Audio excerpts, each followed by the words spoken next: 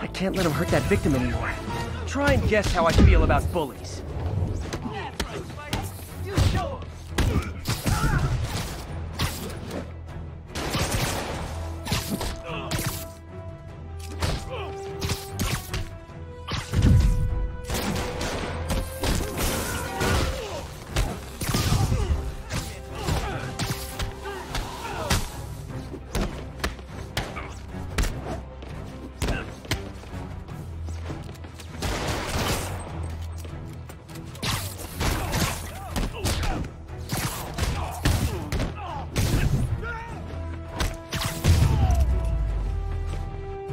I realize the irony in me saying this, but I hope you've learned not to hit people.